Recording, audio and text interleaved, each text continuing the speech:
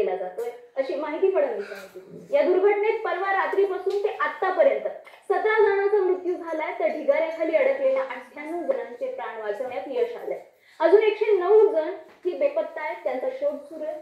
सतरा मृतदेह मिळाले त्यातल्या बारा मृतदेहांची ओळख पटली आहे. तर अद्याप चार मृतदेह ओळखण्याच्या अवस्थेत नव्हते. त्यांची ओळख पटवण्यासाठी त्या मृतदेहांचे डीएनए सॅम्पल लॅबला पाठवण्यात आले.